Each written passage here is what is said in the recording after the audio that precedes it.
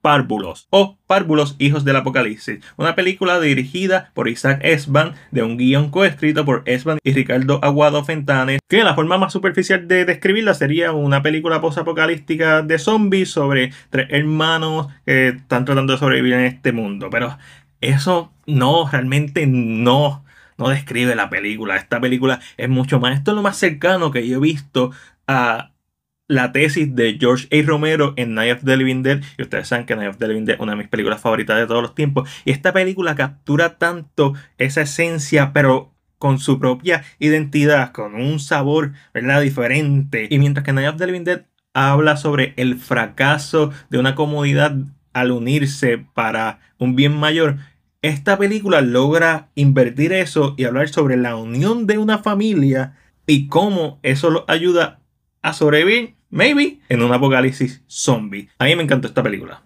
Esta es una película que dura menos de dos horas y se siente como un libro bien rico, bien completo, jugoso, en donde tú ves todos los personajes y tú entiendes el mundo y tú entiendes el mundo interno de estos personajes. Lo cual es curioso porque los protagonistas son niños. Son Salvador, que es el hermano mayor, interpretado por Farid Escalante Correa, Oliver, interpretado por Leonardo Cervantes, y Benjamín, interpretado por Mateo Ortega Casillas. Los dije en el orden de mayor a menor. Y obviamente tú ves el peso de verdad del mayor que tiene que cuidar a sus hermanos, pero esto se dificulta al él tener una pierna amputada, mientras que el segundo hermano, Oliver, es medio cobarde y el tercero es demasiado pequeño y es inocente. Y esto crea una dinámica entre ellos tres que hay tensión pero hay mucho amor. Y eso fue una de las cosas que me encantó de esta película que Básicamente esto es una película familiar coming to age en un mundo post-apocalíptico. La fotografía con colores bien desaturados, casi en momentos en blanco y negro, pero siempre hay un color y siempre como que está esa esperanza, pero se sigue sintiendo bleak en momentos asfixiantes, pero es tan bonita de ver, sin contar los fisheyes. Cuando lo mueven, no sé si a mí solamente, pero es como que me marea. A Yorgos Lantimos le encanta usarlo, so porque Isaac no lo puede usar. A mí no me gustó, pues, no me gustó, no me gustó. Me gustó todo el resto de la película, que no me haya gustado unas tomas no le restan demasiado a la película y mucho menos a la historia. La narrativa de esta película es fenomenal. ¿Por qué? Porque es una película que todo el mundo ha visto películas de zombies y todo el mundo sabe los clichés de una película de zombies, pero los personajes son tan únicos. Eso me, me gusta un montón cuando tú tienes esta dicotomía entre los personajes y todas estas fricciones entre los personajes y ver estas resoluciones y todo se siente tan natural que es lo más difícil en un guion que se sienta natural específicamente si le está escribiendo para niños y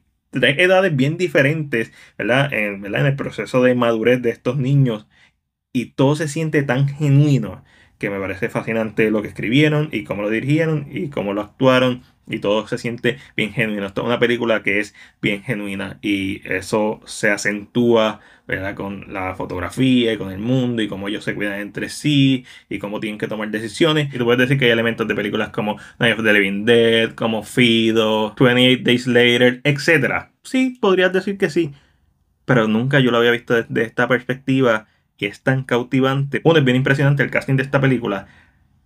Encontrar niños que pudieran cargar este material es difícil. Y creo que hicieron un excelente trabajo, no solamente en el guion, la dirección y los actores. Y el casting perfecto. Y tienes todos estos elementos. Y además hay algo que no estoy contando de la película. Hay algo en el sótano de verdad donde están estos niños. Pero es bien intenso. Es bien aterrador. Y de momento hay tomas en donde los niños están hablando y hay una celda y tú piensas que, va a pasar algo y eventualmente pasa, pero estás en tensión constantemente. Tú, cada vez que se acercan, es bien tenso y bien gratificante ver una película que logra mezclar tantos géneros de una manera tan excelente. Desde el incidente, lo hemos visto, los similares. Chris, incluso más que yo, ama a Isaac a mí me gusta mucho lo que he visto de él.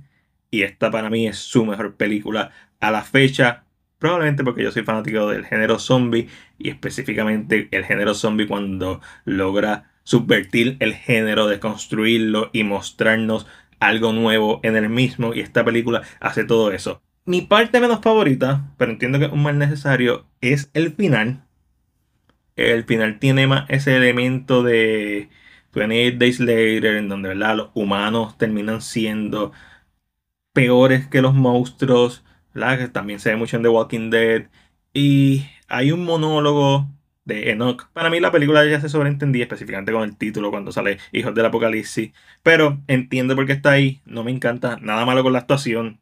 A mí no me encantó esa parte, pero nuevamente no es algo que realmente afecta y cuando la película termina tiene un peso emocional y te deja bien satisfecho. Una película es como un, banquete entero y tú estás bien satisfecho cuando terminas, como que el aperitivo estuvo bueno, la cena estuvo buena, el postre estuvo bueno. Es una película que combina todos estos elementos, la parte gráfica. Incluso hay unas tomas que, si no me equivoco, es cuando Salvador y Benjamín están, tienen que salir de la casa eh, para buscar suministros y utilizan CGI, pero lo utilizan tan bien, así que se debe utilizar el CGI en una película para elevar la escena. Ahora bien, esa toma no tiene CGI, pero debe tener. A mí me pareció que se veía CGI, no sé, pero tiene un montón de efectos prácticos que están en la madre, el maquillaje de los zombies, en la madre, ese ese sonido con los dientes, estilo Hellraiser.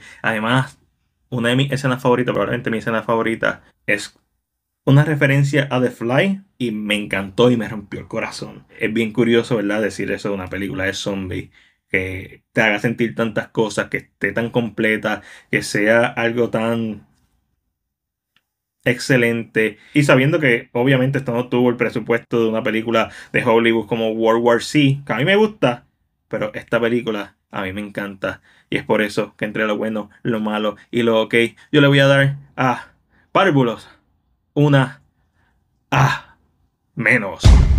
No vi trailers ni nada, so fui ciego y fue una gran experiencia y tener la oportunidad de cubrir este filme como parte del Fantastic Fest.